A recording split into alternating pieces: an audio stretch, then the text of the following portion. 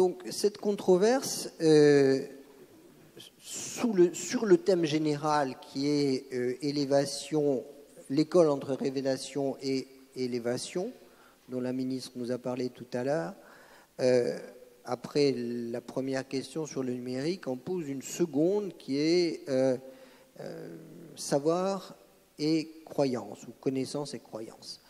Et c'est- une question qui, qui nous importe beaucoup, qui nous importe tous, évidemment. Euh, Est-ce que les croyances ont leur place à l'école? Quelles croyances Comment? Ou est-ce que l'école laïque est une école qui s'est fondée sur euh, la, substitution euh, des savoirs aux croyances, chassant les croyances pour, ne pour construire et transmettre ces savoirs euh, C'est certainement pas aussi tranché que cela. Je suis ravi sur ce sujet difficile mais passionnant euh, d'avoir aujourd'hui euh, avec moi pour en discuter Martine Daoust, qui est professeur des universités, qui euh, travaille depuis de longues années sur la question des neurosciences, mais qui a été recteur de, Limoges et Poitiers, voilà, voilà, hein, mal appris ma leçon, euh, et qui a écrit euh, un livre que l'on connaît tous et qui était très important sur la question de l'école, un livre un peu, un peu polémique qui prend parti, mais ce sont ces livres-là qui, qui, nous permettent aussi de, de réagir et de nous positionner. Et puis, et puis Philippe, Philippe Mérieux, mon ami Philippe, qui, qui revient en deuxième semaine, en deuxième année plutôt, pour notre, euh, pour notre bonheur à tous. Et donc, euh, Philippe, je ne vais pas vous présenter. Philippe, c'est Philippe, voilà. euh, il, a, il a apporté à l'école beaucoup, beaucoup de choses. Il a été contredit par les uns. adulé par les autres, aimé par beaucoup, dont je suis, mais en tout cas, il apporte toujours une note fine et intelligente au débat. Et donc, je vais tout de suite lui céder la parole pour une trentaine de minutes, Philippe. hein. Tu me regardes de temps en temps, je te fais. Attendez, où est passé là Ah, il n'y en a plus On nous a volé le pupitre, donc. euh, Alors là, vous, vous- non mais alors, Non, vous, non, i- j'allais. euh, vous imaginez qui a volé le pupitre? Hein? Ah non, on est bien, non, c'est bien, mais, mais, mais voilà, euh, enfin. euh, bah oui, l'outil est important, vous avez raison. Bon, alors, Philippe, donc tu, tu, voilà, tu, tu es bien, tu es bien assis, tout va bien? Tout à fait, excusez-moi de m'être levé, c'était euh, sans avoir observé que le pupitre avait disparu. Bien, merci Alain, bonjour à toutes et à tous. Effectivement, comme Alain vient de l'évoquer, la question l'école entre croyance et connaissance est une question particulièrement difficile.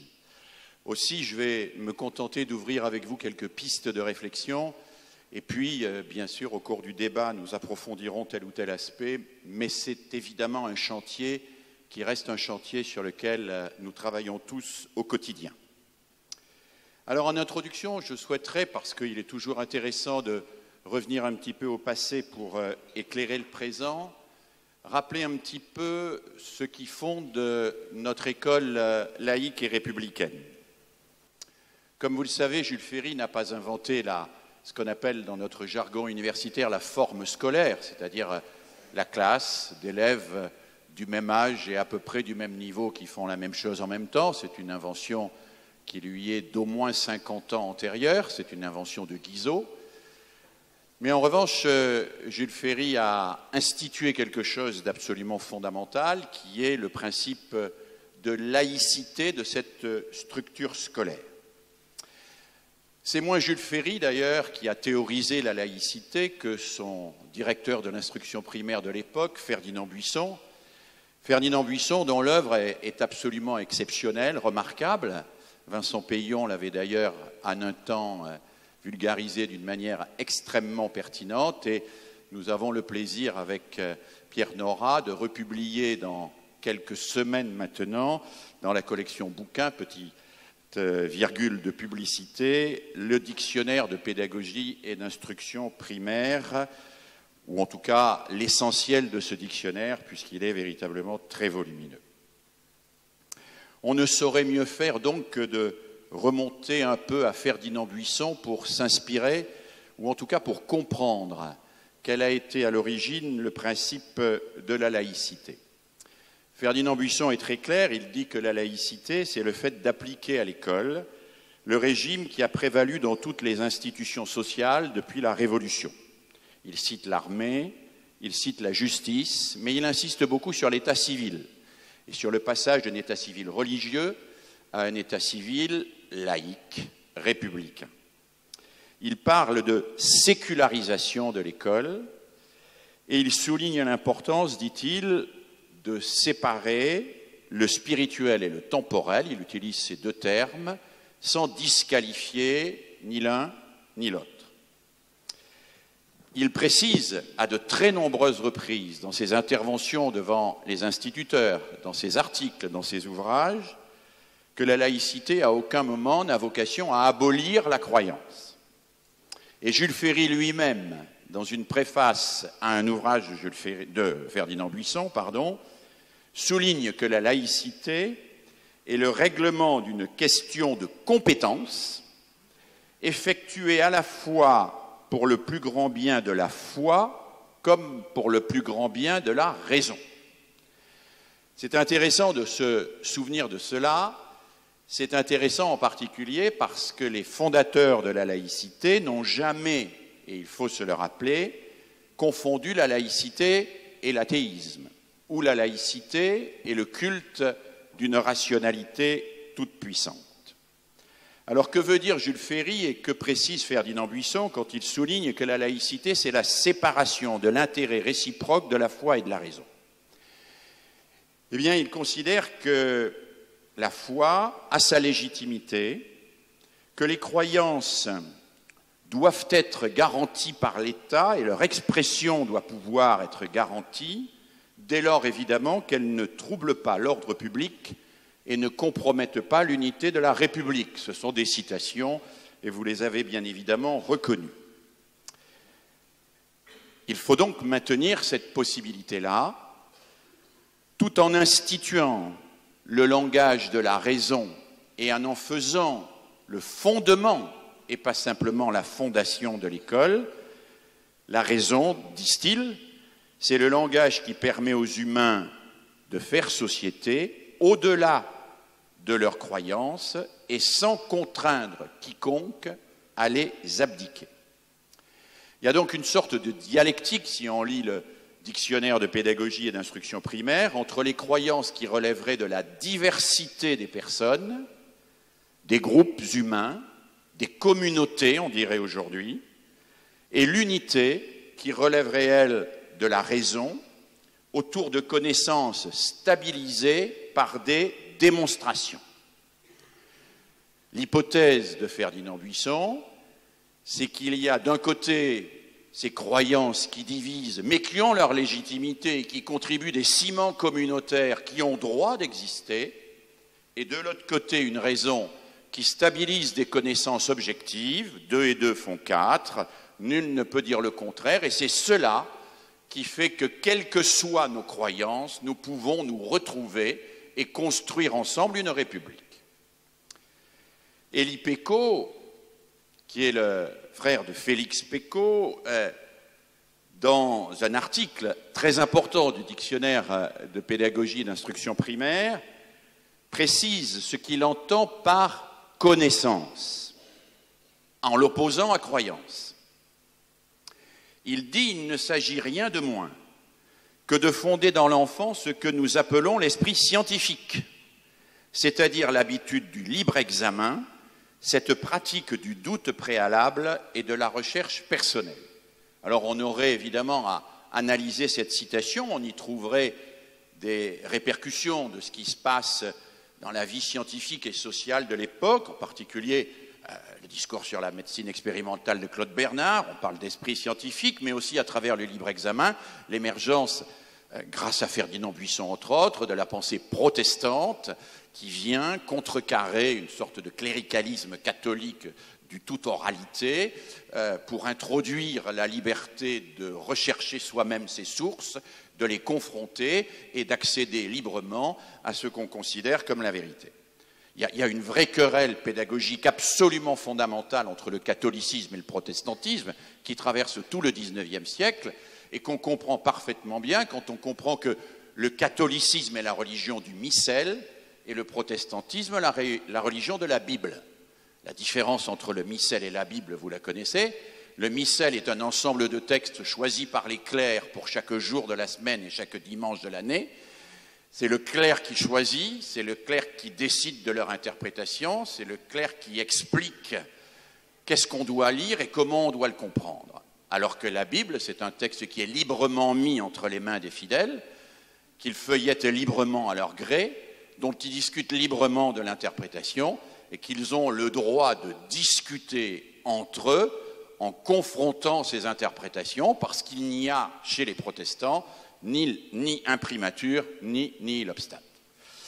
Et quand Ferdinand Buisson propose d'introduire la lecture, il le fait au nom, et il le dit clairement dans un certain nombre de ses textes, de ce qu'il a appris, je le cite, de ses compagnons de protestantisme quand il était en exil au bord du lac de Genève. Alors, quand il explique Séparons les savoirs de la croyance, il esquisse une méthode pour cela. Il esquisse une méthode dont on trouve le résumé le plus clair et le plus fort dans l'article Leçon de choses du même dictionnaire de pédagogie et d'instruction primaire. Jules Ferry explique, pardon, Ferdinand Buisson, mais on peut légitimement les confondre tant ils sont proches, et l'un s'inspire de l'autre et l'autre nourrit le premier.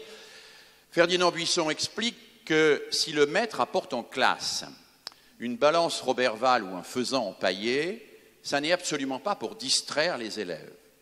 C'est, dit-il, et ça c'est très important, pour que les élèves n'aient pas à le croire sur parole.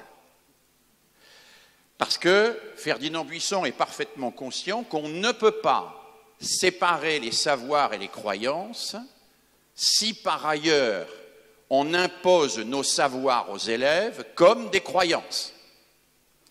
Parce que si on impose nos savoirs aux élèves comme des croyances, ce sera croyance contre croyance.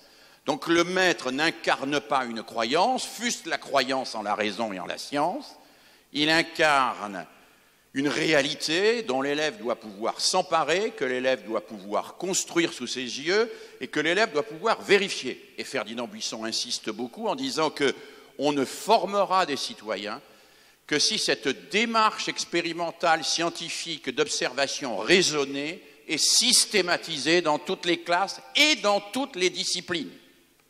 Il ne dit pas simplement en sciences physiques, en sciences expérimentales ou ceci.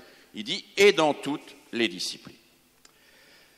Alors, euh, on pourrait s'appuyer là-dessus pour euh, proposer une pédagogie pour la laïcité aujourd'hui. On pourrait effectivement euh, suivre cette intuition de Ferdinand Buisson, qui dit ailleurs, et cette phrase me paraît extrêmement importante, à l'école, qu'on soit maître ou élève, on justifie. On justifie, c'est-à-dire il n'y a pas de parole que le maître ou l'élève la prononce qui ne doivent être justifiées par celui qui la prononce. Et cette justification, dit Ferdinand Buisson, est ce qui structure la raison comme principe régulateur, il emprunte ce terme à, Kant, évidemment, de l'institution scolaire. Alors cette description a un caractère idéal, et on a envie d'y adhérer spontanément. Mais dès le XIXe siècle et dès Ferdinand Buisson, il y a des objections et des débats autour de cela, et même au sein du dictionnaire. L'intérêt du dictionnaire, d'ailleurs, c'est qu'il représente ces débats d'une manière très vivante, très vivace. Hein. Compéré attaque Ferdinand Buisson, qui attaque Pecot, qui réattaque Compéré. Ils débattent. Le dictionnaire n'est pas quelque chose qui euh, consisterait en un dogme unique euh, qui s'imposerait aux enseignants. C'est un ensemble de points de vue scientifiques ou philosophiques qui sont proposés aux enseignants pour constituer une culture commune qui n'est pas exempte de contradictions et de controverses. Alors, euh, quels sont les problèmes qui se posent euh, dès ce moment-là? Buisson en pose un lui-même. Quand dans l'article sur la morale, il précise ce qu'il appelle la référence à la raison et qu'il la distingue du culte de la logique. Ah, c'est un peu compliqué de distinguer la raison du culte de la logique. Il ajoute même, si le culte de la logique fait proscrire à l'enseignant toute allusion à la morale, à la philosophie, et aux idées qui président à l'instauration de la République, ça n'est fini de, notre enseignement national. Il dit même, si l'enseignant se réfugie dans ce qu'il appelle le culte de la logique, il devient un instituteur machine. C'est une expression même de, Ferdinand Buisson. Il laisse donc entendre que derrière cette distinction entre la connaissance et la croyance, il y a une croyance. Une croyance dans cette distinction et dans le caractère fondateur de cette distinction. Donc chasser la croyance, elle revient au galop, et c'est pas pour rien que euh, le titre de l'ouvrage donné par Vincent Payon à son étude sur Ferdinand Buisson s'appelle La foi laïque. La foi laïque. Ce qui peut paraître un oxymore, puisque ça associe la foi et la laïcité, qui est traditionnellement référée au culte de la raison, mais qui ne l'est pas fondamentalement dès lors que la raison peut rendre de tout, sauf du fait qu'on dit que c'est la raison qui rend compte de tout, ce qui n'est évidemment pas une affirmation raisonnable. Alors, on a déjà là un, premier problème, et vous allez voir qu'il n'est pas aussi facile que ça à résoudre. Il y a un deuxième problème que Buisson pointe assez facilement, et pour lequel il nous donne des exemples que je n'aurai pas le temps de développer ici, dans lesquels il nous montre qu'au fond, les connaissances et les croyances sont tellement imbriquées dans nos représentations, nos conceptions, qu'on peut travailler à les séparer dans un travail qu'on appellerait aujourd'hui d'objectivation, mais que cette séparation-là est plus une démarche qu'une catégorisation définitive. Donc c'est une démarche qui travaille, mais il dit quelque part où il laisse entendre, ce n'est pas tout à fait sa formule, mais je crois qu'il se reconnaîtrait dedans. En tout cas, qu'il ne se révolterait pas dans sa tombe. Il dit qu'il reste toujours un peu de, de croyance dans la connaissance et un peu de, qu'il y a toujours un peu de connaissance dans la croyance. C'est que donc l'effort que l'on fait pour désintriquer la croyance et la connaissance est un effort, mais qu'on ne pourra probablement jamais faire un espèce de classement de colonnes en disant ici il y a les croyances, de l'autre côté il y a les connaissances, et s'en satisfaire d'une manière définitive. Et puis, euh, il y a un autre élément qui fait l'objet euh, d'un texte très intéressant qui est le commentaire par Compéré d'une conférence pédagogique de Ferdinand Buisson. En particulier quand Compéré lui dit, à propos de la leçon de choses, mais monsieur Buisson, c'est relativement bien ce que vous dites là, qu'il faut que l'élève vérifie que ce que vous lui dites, c'est pas simplement une croyance, mais c'est réellement quelque chose qu'il peut observer, que vous pouvez lui démontrer, que lui-même pourra ensuite démontrer aux autres. C'est bien, mais d'une part, c'est totalement irréaliste, vous ne pourrez jamais le faire sur la totalité de ce que vous enseignez, et d'autre part, vous euh, vous, vous, écartez de l'enseignement ce qui est un des éléments constitutifs qui est la confiance que l'enfant doit avoir dans l'adulte, dans le fait que l'adulte lui transmet des connaissances et non pas des croyances. Parce que si le maître est à chaque instant, dit Compéré, en situation d'expliquer que ce qu'il dit, ce n'est pas une croyance, c'est une connaissance, il n'aura plus le temps de rien enseigner. Ce n'est pas une petite objection, hein c'est une objection intéressante. Alors je voudrais, euh, après cette introduction historique, euh, rentrer dans le vif du sujet et euh, me demander, me demander d'une part, quelles sont les perspectives pédagogiques que l'on peut retenir aujourd'hui et d'autre part, à partir de ces perspectives pédagogiques, évoquer quelques problèmes qui me paraissent plus relevés du domaine de l'anthropologie d'ailleurs que de la pédagogie. Alors, quelles perspectives pédagogiques? Je crois qu'on peut suivre relativement encore Ferdinand Buisson et que sa leçon est toujours une leçon d'actualité, dès lors que l'on met en place une démarche expérimentale, au moins de temps en temps, c'est-à-dire que sans la systématiser, on permet quand même aux enfants, et la main à la pâte à laquelle on faisait allusion tout à l'heure, c'était précisément cela, on permet au moins aux enfants de, comprendre la nature de l'expérimentation scientifique et la nature des savoirs que cela représente. Je crois qu'il y a là quelque chose de, très fécond.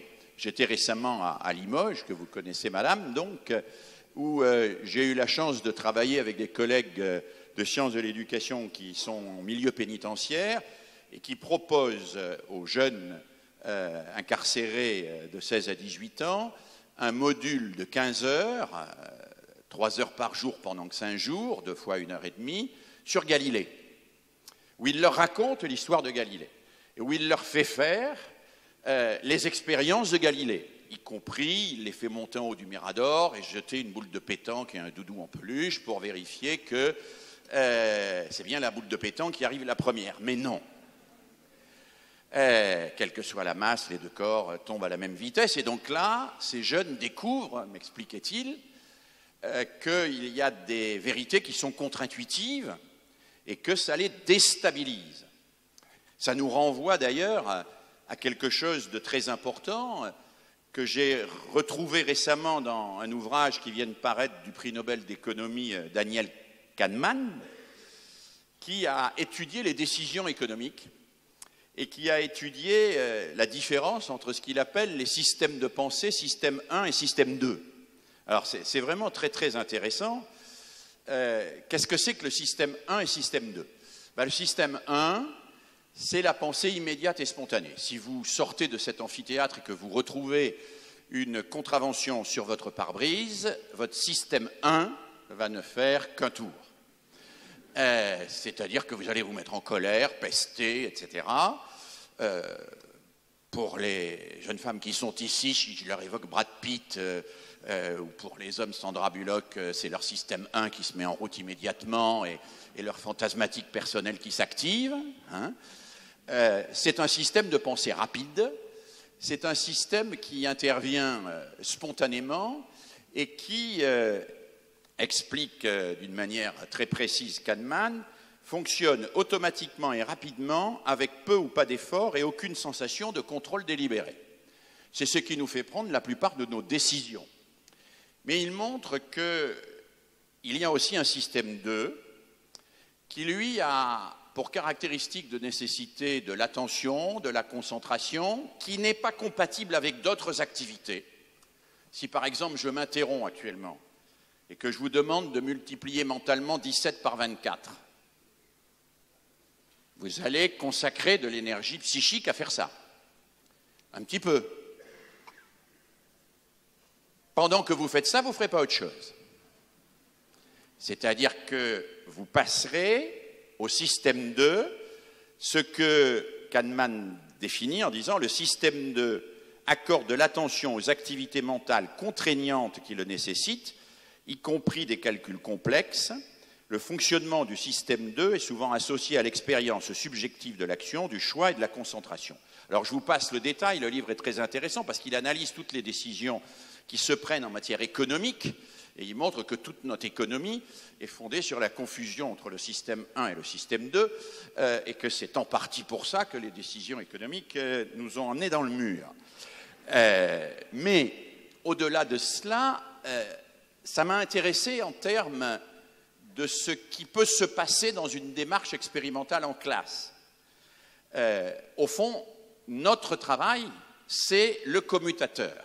Qu'est-ce qui fait passer du système 1 au système 2 De la pensée intuitive, spontanée, rapide, à une pensée réfléchie, à une pensée du sursis, à une pensée qui se développe dans la temporalité et qui élabore de la compréhension.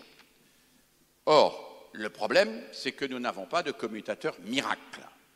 Donc que nous construisons des situations dans lesquelles ce commutateur fonctionne plus ou moins bien et que tout notre travail dans la démarche expérimentale, c'est de faire fonctionner ce commutateur. Alors, je ne vais pas rentrer dans le détail, je vois que je n'ai pas le temps, euh, mais il y a un certain nombre d'outils pour ça. On peut donc euh, utiliser la démarche expérimentale et je crois que c'est un pas que l'on fait en avant vers la laïcité. Nos collègues de Grenoble me disaient, nous ne sommes pas sûrs que les jeunes, pour une part musulmans, pour une autre part catholique, parce que gens du voyage, mais tous dans une conception extrêmement euh, euh, intégristes et, traditionnalistes de la religion, vont, parce qu'ils ont étudié Galilée, euh, abandonner du jour au lendemain cette espèce de foi dans des idéaux mystico-diaboliques. mais on, fait vaciller un certain nombre de choses et on installe peut-être la possibilité d'un questionnement. D'ailleurs, il, il donne des anecdotes extrêmement riches sur l'émergence de ce questionnement. Mais il montre que ce, questionnement ne peut réellement, euh, véritablement faire basculer euh, la, compréhension que s'il passe par une forme de débat argumenté et que s'il passe également par euh, une forme de formalisation par l'écrit. Et même avec des jeunes qui ne savent pas ou très mal écrire, ils les contraignent à avoir un cahier de découvertes sur lesquels euh, ils écrivent ce qu'ils découvrent régulièrement, tous les quarts d'heure ou toutes les 20 minutes, même si ce n'est pas parfaitement écrit, ils passent du temps ensuite à le corriger, pour formaliser cette dialectique qui était déjà évoquée par Henri Marion entre une pédagogie de la découverte et de l'exploration et une pédagogie de la formalisation. Euh, je crois qu'on pourrait s'inspirer de cela pour euh, multiplier ce type d'activité dans les classes. On pourrait développer des débats argumentés avec des protocoles rigoureux, il en existe de nombreux, les ateliers philo, etc. Il y a un autre élément qu'on pourrait développer et auquel je, crois beaucoup pour ma part, je l'avais brièvement évoqué l'an dernier, c'est la, la lecture littéraire. J'ai lu récemment, avec un plaisir infini, le dernier livre d'Hélène Merlin-Cajman qui s'appelle Lire dans la gueule du loup qui s'intitule Lire dans la gueule du loup avec un sous-titre très beau qui est Essai sur une zone à défendre la littérature et qui euh, est un livre qui récuse euh, la thèse de Barthes de ce qu'on appelle en didactique ou en linguistique la fiction référentielle. C'est-à-dire l'idée que quand on lit un, texte, euh, on le lit en tant qu'œuvre littéraire en pensant que on travaille le style, on travaille euh, la construction du langage, mais on fait abstraction d'une référence et on assume le fait qu'il n'y a pas de référentiel extérieur à cette œuvre littéraire. Et elle construit contre cette hégémonie de la fiction référentielle une thèse qu'elle appelle la thèse du partage transitionnel dans le cadre de ce qu'elle décrit comme étant la lecture avec. Euh, et elle explique comment euh, on ne peut pas se contenter euh, de travailler les textes sur le plan linguistique, stylistique, etc. Elle prend un exemple qui est absolument fabuleux, qui est l'exemple d'un petit poème en prose de Baudelaire qui s'appelle Le mauvais vitrier, euh, qui est un très célèbre petit poème en prose de Baudelaire, où Baudelaire raconte, mais je vais le faire très vite, qu'il habite dans un quartier sordide, dans une mansarde sordide, il fait venir un vitrier, et euh, il demande à ce vitrier s'il a des vitres euh, rouges, bleues, jaunes, vertes, parce que, lui dit-il, il faut absolument euh, repeindre ici la misère et donner des couleurs au monde. Alors le vitrier, évidemment, lui dit qu'il n'a pas de vitres rouges, vertes, jaunes, etc. etc. donc Baudelaire s'énerve, il pousse, le vitrier tombe dans l'escalier, il casse une partie de ses vitres, et quand le vitrier est en bas, eh bien, Baudelaire euh, lui jette un pot de fleurs, euh, ce qui euh, fait que le vitrier s'écroule, on ne sait pas d'ailleurs s'il meurt, et qui casse toutes ses vitres. Baudelaire termine ce petit poème en prose en disant Ces plaisanteries nerveuses, c'est Baudelaire, ne sont pas sans péril et on peut souvent les payer cher, mais qu'importe l'éternité de la damnation à qui a trouvé dans une seconde l'infini de la jouissance. Euh, qu'importe l'éternité de la damnation à qui a trouvé dans une seconde l'infini de la jouissance. Et euh, Hélène Merlin-Cajman explique qu'elle fait lire ce texte à des élèves de cinquième. Et si elle s'en tient aux instructions officielles, elle va travailler sur euh, la construction du texte, elle va travailler sur l'utilisation des mots, sur les métaphores, sur toute une série de choses extrêmement complexes. Il y a même des noms que je ne connais pas, enfin, euh, mais que les linguistes connaissent sûrement. Euh, ce texte étant fondé, euh, enfin je vous le trouverai à un autre moment, peu importe. Bon. Et à aucun moment, dans les manuels qui étudient ce texte, on, on évoque la question morale que pose ce texte. Alors évidemment, cette question morale, pour le spécialiste de Baudelaire, elle n'existe pas puisque c'est une métaphore, euh, les vitres doivent repeindre comme le poète repeint la réalité, etc. Sauf que pour les élèves, la question morale, elle se pose. C'est-à-dire, est-ce que réellement Baudelaire a le droit de précipiter dans l'escalier ce pauvre vitrier euh.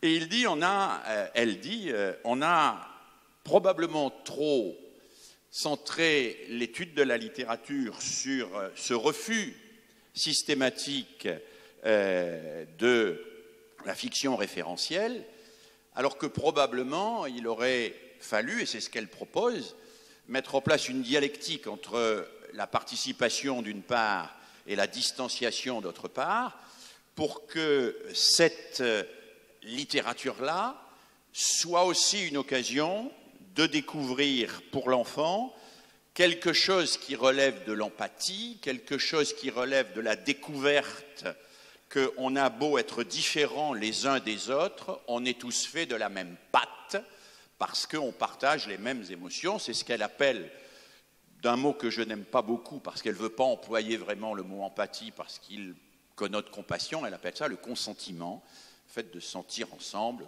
consentiment.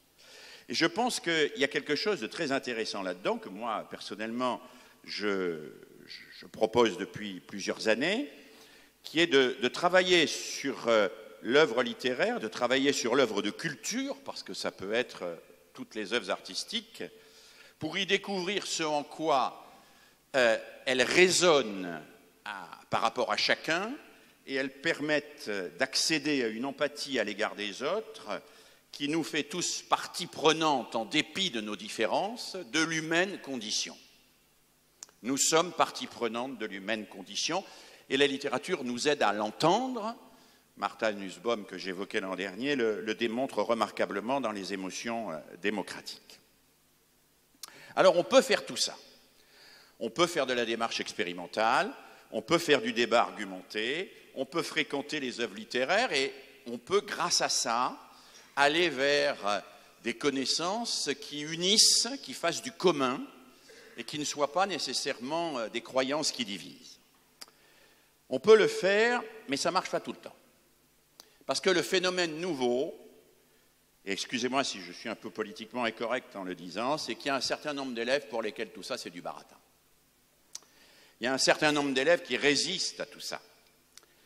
Il y a une pédagogie qui peut être mise en échec parce qu'il y a des élèves pour lesquels les savoirs scolaires, quels qu'ils soient, sont d'emblée destitués. Ça nous renvoie d'ailleurs à la grande question que posait Platon au tout début de la République, hein. comment faire entendre raison à celui qui n'a pas choisi la raison? Et ça nous renvoie à une anecdote que je cite parfois, qui est l'anecdote de Claude Lévi-Strauss qu'il raconte dans La pensée sauvage au tout début, quand il étudie la manière dont les hommes qu'on dit primitifs utilisent les plantes. Il explique que ces hommes qu'on dit primitifs vivent à côté de plantes qui sont extrêmement nutritives et savoureuses, mais qu'ils les négligent, qu'ils ne les mangent pas, et qu'ils font des kilomètres dans les forêts pour aller chercher des plantes absolument catastrophiques et désagréables, euh, dont ils font des concoctions nauséabondes. Et Lévi-Strauss explique cela, et il ajoute à la fin de cette explication, alors je cherche la phrase exacte de Lévi-Strauss, la voilà, c'est ainsi que des sauvages peuvent passer à côté des baies sauvages et savoureuses sans les toucher, et faire par ailleurs des marches harassantes dans la forêt pour cueillir des plantes sacrées dont ils font des concoctions nauséabondes. Et il souligne, c'est effectivement parce que chez eux, les plantes ne sont pas connues parce qu'elles sont utiles, elles sont déclarées utiles parce qu'elles sont connues. Donc l'utilité et la fonctionnalité de quelque chose sont eux-mêmes surdéterminés par leur place symbolique dans l'univers de pensée de la personne. C'est-à-dire, c'est la place que le savoir scolaire occupe dans l'univers symbolique de l'élève qui, dans un certain nombre de cas, je ne dis pas dans tous, bloque l'accès au savoir scolaire et fonctionne comme une espèce de barrière qui disqualifie tout savoir scolaire a priori.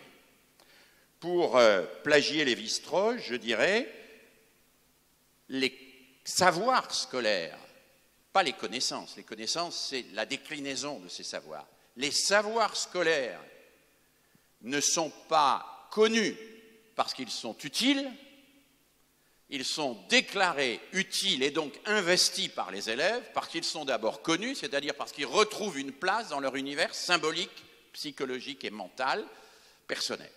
Et ça, ça nous pose un, vrai problème. Ça nous pose un vrai problème parce que cela, nous ne savons pas véritablement le travailler. Nous ne savons pas travailler face à des enfants qui nous disent a priori, j'en ai rien à faire, ça ne m'intéresse pas, de toute façon, Allah a créé le monde et tout le reste, ça n'a aucune importance. Et nos savoirs, en restant sur la seule scène scolaire, rationnelle, comme des connaissances éternelles et immuables, pour parler comme Descartes, sous euh, l'autorité duquel nous devisons aujourd'hui, ces savoirs de la scène scolaire n'ont pas de chance de devenir attractifs pour eux s'ils ne s'inscrivent pas dans ce que j'ose appeler une forme de mythologie de la connaissance, s'ils ne sont pas habités par des forces qui les dépassent, et si, euh, d'une manière ou d'une autre, la rationalité qu'ils mettent en œuvre ne s'inscrit pas dans une configuration mentale nouvelle qui soit assumée et partagée par eux. Pour dire les choses d'une manière un peu différente, nul ne choisit la connaissance, une connaissance, si elle ne s'intègre pas dans sa construction identitaire, si elle ne fait pas sens dans une aventure dont il est partie prenante.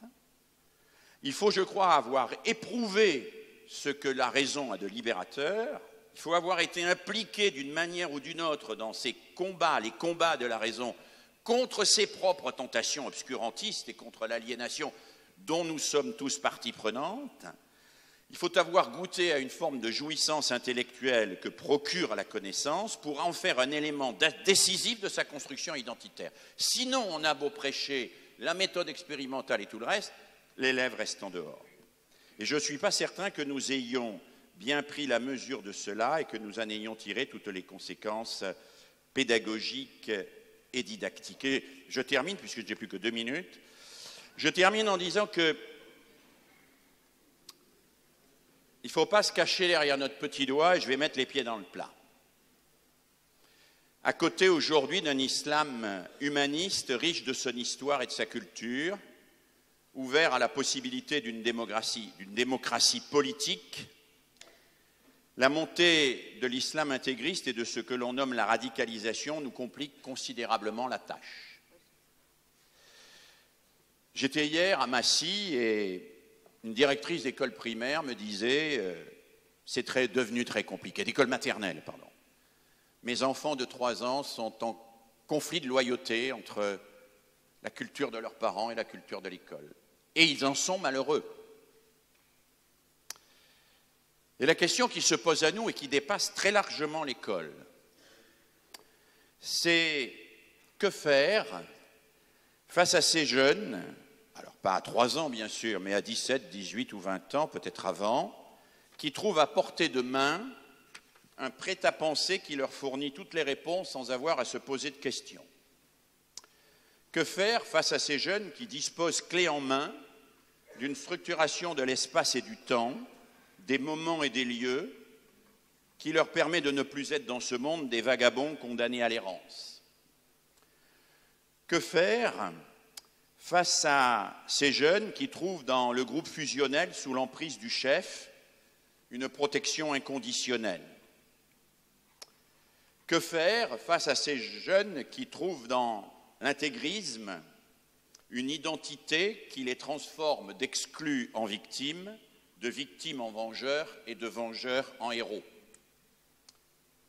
Et la question que je nous pose, c'est qu'est-ce qu'on a en magasin à offrir à la place. À ces jeunes-là.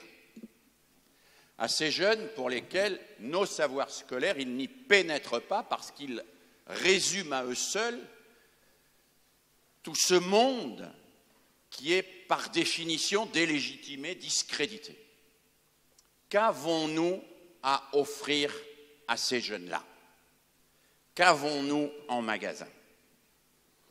L'idéal de la nation et de la patrie, c'est compliqué, hein il est guère prisé par ceux dont les parents et les grands-parents en furent victimes, d'autant plus que sa récupération par l'extrême droite lui donne quand même une regrettable odeur de moisi.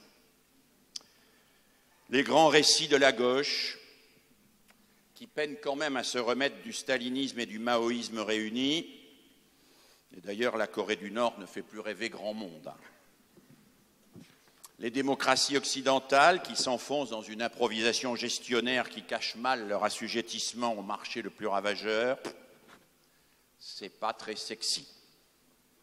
L'Europe qui s'empêtre dans une démocratie aussi pointilleuse qu'incompréhensible, bien loin du projet généreux de Jean Monnet. La laïcité. Alors on dira la laïcité. Sauf que, comme le dit Régis Debray lui-même, la laïcité, c'est un cadre, mais il n'y a pas le tableau. C'est un cadre, c'est-à-dire que ça organise entre les différentes religions et les différentes croyances un débat, une coexistence acceptable, et c'est en ce sens un combat plus que jamais nécessaire, mais on ne meurt pas pour la laïcité. La laïcité, c'est une organisation, ça n'est pas un idéal.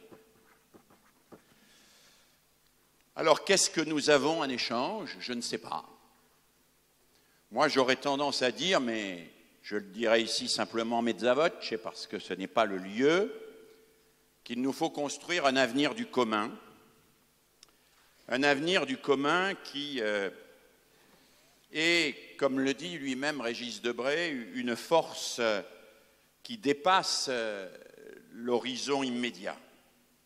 Régis Debray dit, et je vais trouver la, citation et j'ai fini Alain, hein, qu'il nous faut euh, créer cet euh, idéal du commun par une référence qui soit à la fois euh, invisible, impossible à photographier comme ça, parce que situé par-delà et au-dessus de notre monde immédiat et sensible, mais qui ait la vertu de polariser la limaille. Et il ajoute le commun est en surplomb ou n'est pas. Je crois qu'il a raison. Je crois que le commun est en surplomb ou n'est pas, et que le commun de Ferdinand Buisson, c'était la foi laïque, qui aujourd'hui n'est plus, n'a plus de contenu.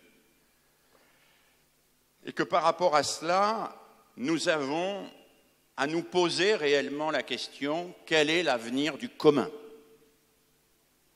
Je n'ai pas de Réponse toute faite, j'ai une réponse personnelle. Pour moi, l'avenir du commun, c'est celui de notre terre patrie, c'est celui de Gaïa. C'est celui de ce monde que nous sommes en train de saccager, de piller, et qui est ce qui nous est commun, ce qui nous dépasse tous, et ce qui peut encore peut-être nous réunir. Alors je terminerai par là, mais avec une, deux petites conclusions quand même de toutes petites conclusions. La première, pour revenir à ce qu'a dit la ministre ce matin en introduction, Après les attentats,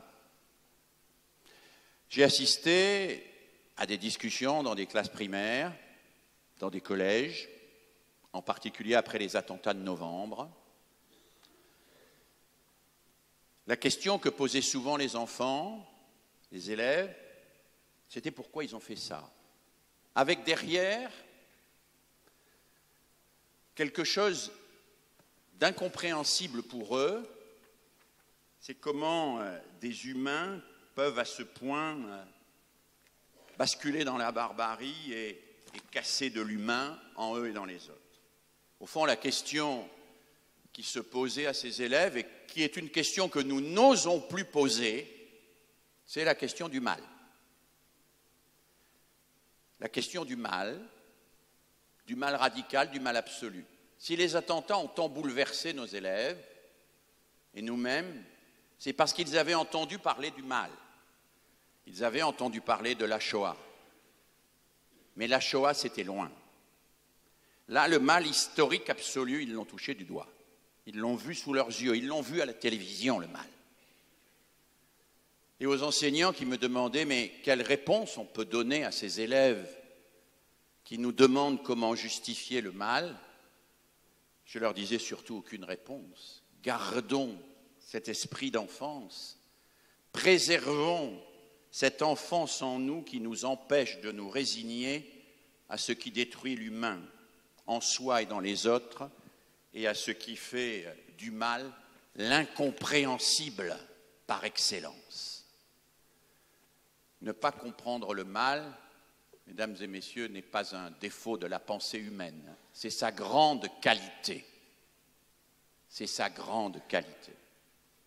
Et je crois que nous avons à cet égard à, travailler sur ce qu'on appelle l'enseignement moral et civique pour le sortir d'une forme de, naïveté moralisatrice souvent et lui donner euh, de la chair historique,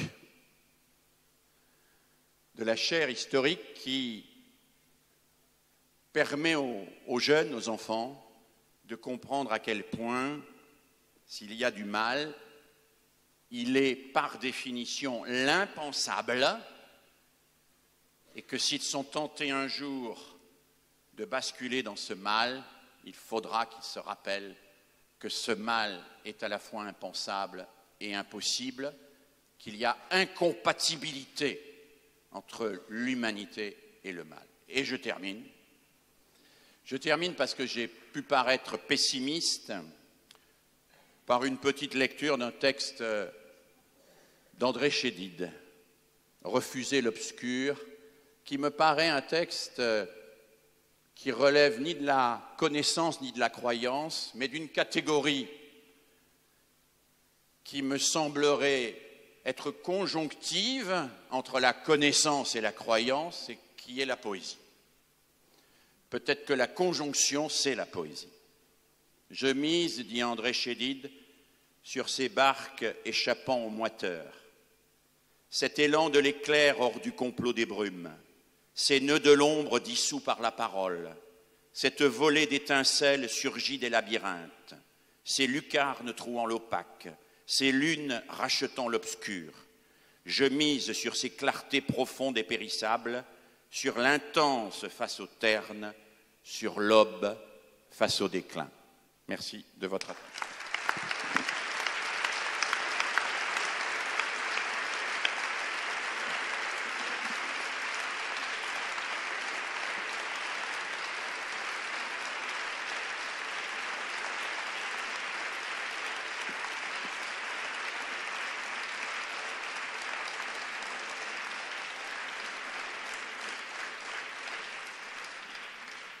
Merci, Philippe, merci beaucoup.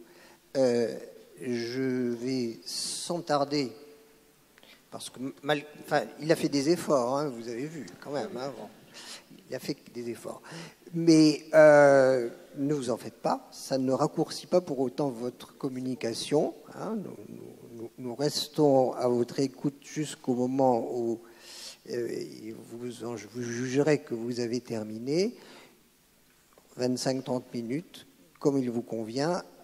Martine Daoust, c'est à vous. Merci, merci pour cette invitation. Euh, voilà, alors après, comment, euh, comment tenir les, paroles et les mots que j'avais euh, prévus après ces interventions, les interventions de ce matin? Quand vous m'avez demandé de participer à, ces controverses, je me suis d'abord interrogée sur ma légitimité à parler de croyance et de connaissance, moi qui m'accroche à la connaissance depuis des années, qui l'enseigne et qui enseigne les connaissances en neurosciences. Et puis finalement, euh, et finalement, euh, c'est vrai qu'en s'accrochant qu'à la connaissance, on s'assèche un peu et qu'on est quand même obligé de sortir de la connaissance pour, euh, pour voir ce qu'il y a autour. enfin, comment parler de génétique, de génome, sans parler d'éthique, par exemple, y compris, y compris à des élèves, hein, et surtout, surtout à des élèves. Comment parler de comportement, et vous en avez parlé, sans parler du mal, sans parler euh, du mal, du, bien, ou de l'empathie qu'on peut avoir avec les uns et les autres. Donc finalement, j'ai accepté avec, euh, avec enthousiasme, et, puis... Euh, voilà, la ministre ce matin a dit très justement que on opposait, on opposait les termes, alors que peut-être il faudrait les associer. Euh, oui, je crois qu'effectivement, il faut euh, associer la croissance et la connaissance. Et la connaissance, euh, avant de venir, je me suis quand même bien interrogée sur la connaissance de quoi. Est-ce qu'il faut poser dans les classes, dans la transmission? Qu'il faut poser la croissance et la croyance et la connaissance et d'ailleurs, à propos de transmission, je suis toujours très étonnée qu'on arrive à parler pendant des heures d'éducation sans jamais prononcer le terme de transmission. Euh, Alain, vous avez euh, prononcé le terme de transmission à 11h20 ce matin. Ça veut dire que, oui, oui, j'ai repéré, ça veut dire qu'on parlait d'école, de l'école, euh, des élèves, de, ce qu'il fallait faire, pas faire, des pistes intéressantes, sans parler de transmission. Hein. et vous, monsieur, monsieur Mérieux, vous avez aussi parlé de transmission. Enfin, on en parle très peu. Euh, c'est grand, ma grande frustration de voir qu'on parle d'école sans, parler de transmission. Euh, moi, j'estime que euh, l'enseignant transmet. Enfin, je transmets au quotidien à, mes élèves. Alors après, c'est qu'est-ce qu'on transmet et comment le transmettre pour quand, même ce soit efficace? Et qu'est-ce qu'on transmet pour justement croire aux connaissances? Euh, effectivement, on voit à quel point euh, nos élèves ont démonétisé complètement la connaissance. Vous avez fait euh, référence aux croyances, au communautarisme, mais il n'y a pas que. Il n'y a pas que. On remet en question la connaissance, les connaissances au quotidien. Toutes les connaissances dans tous les domaines sont, seront mises en question. Alors mon domaine, je suis désolée, c'est la pharmacie, c'est les médicaments. Enfin, il n'y a pas de jour, et même parfois plusieurs fois par jour, par jour, où on remet en question euh, l'efficacité du médicament, euh, euh, des vaccins en ce moment. Enfin, sans, jamais rappeler que le médicament, d'abord, ça soigne. Hein, et on a des médicaments parce que parce que la connaissance a avancé, parce qu'on a des nouvelles connaissances. Enfin, c'est vrai dans, dans, tous les domaines. Hein. On voit bien qu'il y a une méfiance relativement à la connaissance et que cette méfiance laisse le pas à des croyances, enfin à des gourous, euh, à tout ce qu'on veut, sauf, euh, sauf à la connaissance. Alors moi j'aurais souhaité euh, ancrer un petit peu ce que je voulais vous dire, mes mots-clés, autour de la connaissance et de la relation entre ce que l'on connaît en neurosciences cognitives et de leur impact sur, sur la pédagogie vous l'avez rappelé, euh, j'étais recteur et j'étais vraiment très étonnée. Euh, c'est vraiment un rapport d'étonnement que j'ai fait euh, sur eh bien, finalement ce gap entre ce fossé énorme entre l'avancée des connaissances scientifiques dans le domaine du comportement, dans le domaine des processus d'apprentissage et la pratique. Alors je sais bien qu'il faut du temps entre euh, la paillasse, euh, l'éprouvette et, euh, et, le tout venant, c'est évident. Mais enfin, quand même, depuis le temps que l'on remue des nouvelles connaissances en, neurosciences cognitives, comment se fait-il qu'on ne les euh, qu'on ne s'en serve pas plus au même titre que l'informatique. Tout à l'heure, on a eu des très belles démonstrations sur l'informatique et euh, euh, la place de l'informatique dans, dans l'éducation. Donc, voyons voir un petit peu, je voulais vous dire deux, trois choses autour des connaissances, des connaissances en neurosciences qui peuvent nous aider à transmettre des connaissances. Et puis surtout, un terme qu'on n'utilise jamais, et qu'on a un petit peu oublié, c'est le terme euh, de consolidation des connaissances. Alors que la consolidation, c'est un processus euh, neurobiochimique euh, réel et c'est pas une vision, un délire de neuropharmacologue dans un coin de labo. Hein. Maintenant, les IRM fonctionnels viennent montrer qu'une fois qu'on a appris, on stocke euh, dans un coin du cortex et euh, euh, finalement on est capable de le ressortir. Mais ça veut dire qu'il faut le consolider. Ça veut dire que tous nos élèves qui sortent de la classe, qui sortent des cycles sans avoir consolidé leurs connaissances, ils vont les oublier. Tout ce qui n'est pas appris et désappris. C'est une lapalissade redoutable, je suis désolée de vous le dire, mais il n'empêche que c'est ça. Et tant qu'on n'a pas vérifié que ce qui est appris est bien consolidé, peut être restitué, restitué au bon moment, eh bien, euh, voilà, c'est pas la peine. Hein. c'est nul et non avenu. J'étais en Afrique dernièrement et euh, en écoutant euh, les petits élèves africains, je me dis, ben voilà, le modèle, notre modèle, notre modèle finalement, c'est le modèle de l'école africaine où tous les matins à 7 heures, tous les membres de la classe, ils sont 70 par classe, hein, euh, voilà, euh, ils sont 70 par classe et tout le monde récite la récitation et à tue-tête et on est content de la réciter et on la récite jusqu'à ce que tout le monde la sache. Pareil pour tables de multiplication. On a un peu oublié, on a un peu oublié ça, on a un peu oublié tous ces processus de consolidation et c'est très dommage. C'est vrai dans le premier degré, c'est vrai dans le second degré et c'est vrai à l'université. Enfin. Euh, oui, et c'est vrai à l'université. Alors, pour en revenir un petit peu à ces, euh, neurosciences cognitives, ce matin, euh, voilà, on a dit à quel point, il y a un intervenant ce matin qui a dit à quel point tout le monde partageait un diagnostic un petit peu dramatique, hein, et qu'effectivement, on avait 15% des élèves qui sortaient. qu'on n'avait pas su attirer, qu'on n'avait pas su garder et qui sortaient un petit peu sans outils. Euh, moi, je souhaiterais vous rappeler euh, quelques piliers de l'apprentissage et qui sont, euh, qui sont à relier avec ce qu'on a dit sur l'informatique. on a au moins quatre facteurs qui vont déterminer la vitesse et la facilité d'apprentissage. L'attention.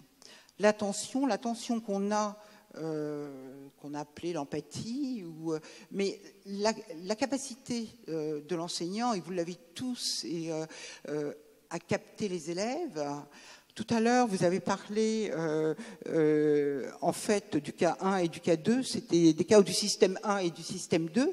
Le système 1, euh, il me semble avoir reconnu le système limbique, qui finalement gère totalement nos émotions. Et le système 2, qui est bah, finalement le cortex, le frein, hein, qui va voilà, c'est ça, le cortex frontal, hein, voilà, qui va finalement faire un frein là et qui va faire que tant qu'on a un cortex, euh, on arrive à globalement gérer nos émotions et à gérer et à gérer l'attention.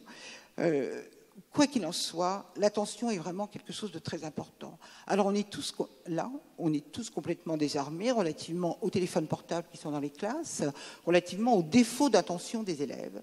Les élèves sont inattentifs parce qu'ils sont sollicités, parce que, euh, pour des tas de raisons, ils sont, devenus très inattentifs et ça se poursuit jusque dans l'enseignement supérieur où moi j'ai mis en place une boîte, une boîte à doudous. Les doudous, c'est les téléphones portables. Ils sont priés de mettre leur téléphone portable en rentrant dans l'amphi et les retrouvent en sortant parce que ça n'est plus possible, ça n'est plus possible de faire un cours euh, avec des gens qui ne sont pas attentifs. L'autre, euh, ça aussi euh, euh, une importance, et on voit bien qu'on a des modèles pédagogiques des pays nordiques, au Danemark par exemple, où on a repensé la classe. Vous avez, au cours de, de, vos rappels à l'histoire, vous avez parlé de, l'histoire de l'école, et c'est vrai qu'on est resté quand même dans quelque chose de très figé, une heure, une classe, un enseignant et dans la classe des élèves. Et on voit bien que dans les pays qui réussissent un peu mieux que nous à PISA, ils ont pensé la classe différemment, ils ont pensé l'environnement différemment. Il faut que l'environnement soit attrayant, euh, mais pas trop pour ne pas trop distraire, trop distraire l'élève. Et je pense par exemple à un terme qui n'est jamais employé, qu'on n'emploie jamais, et en tout cas qui, n'est pas employé dans l'évaluation, c'est la qualité de vie dans un établissement. Qu'est-ce qui fait que dans un établissement, on apprend mieux enfin, Alors il y a un effet, il y a un effet peut-être, couleur de mur, enfin, il y a un effet environnement. Quoi qu'il en soit, l'attention est, vraiment quelque chose de, très important. Euh, l'engagement actif aussi. Hein, où il faut euh, euh, maximiser la curiosité, il faut avoir la capacité de maximiser la, curiosité. On a parlé tout à l'heure de récompense et de motivation, bien sûr, et quand la récompense vient de soi, quand elle n'est pas imposée, c'est mieux que quand on nous force à être content. Hein, euh, voilà. Et puis enfin, vraiment j'insiste là-dessus, la consolidation. Il est vraiment très important qu'on arrive à automatiser tous les, savoirs qui paraissent importants, qui nous paraissent importants dans la construction de la connaissance. Vraiment, l'automatisation est, euh, euh, importante. Euh, et ce processus d'automatisation, c'est un circuit nerveux qui est un transfert du conscient au non-conscient qui permet de libérer les ressources. On peut, faire le calcul en pensant à ce que vous nous dites.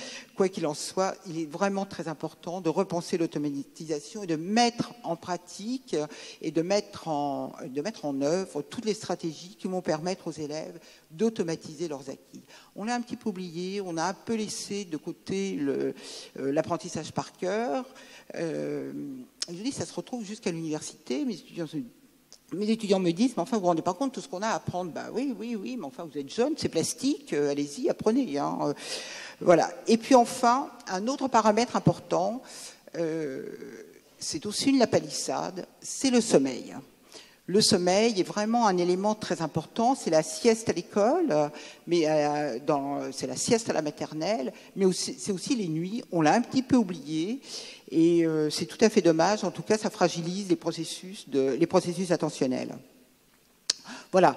Donc tout ça pour dire que euh, le système attentionnel est vraiment quelque chose de, de, de très important.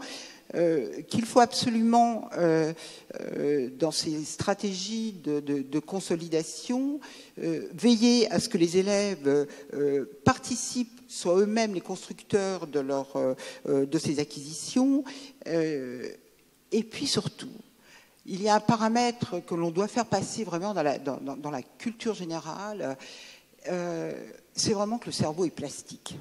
C'est vraiment qu'on est dans un système, on a une fenêtre de tir dans l'apprentissage euh, qui dure des premiers instants euh, de vie euh, jusqu'à la fin de l'adolescence.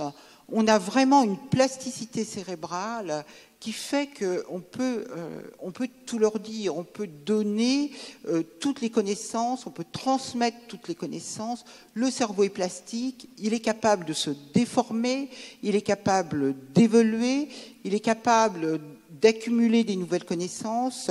Donc il faut vraiment interagir avec cette, euh, avec cette plasticité euh, cérébrale. Euh, cette plasticité cérébrale, elle va se terminer, bah, elle va se terminer en post-adolescence.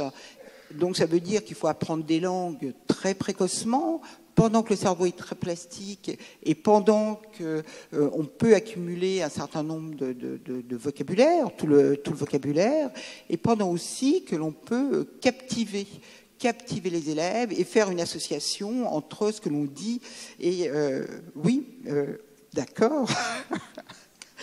Voilà. Et enfin, le, dernier pilier, c'est la, consolidation, le transfert de tout ce qui est explicite vers l'implicite. Ça veut dire que tout ce qu'on avait appris devient, eh bien finalement, devient tout à fait normal. On a automatisé, on a automatisé tout ce euh, qu'on a emmagasiné, et l'automatisation est absolument essentielle essentiel. C'est essentiel dans la lecture, c'est essentiel dans l'équilibre, dans, dans la lecture, dans l'écriture. Et pour revenir à ce qu'on disait tout à l'heure sur, l'écriture,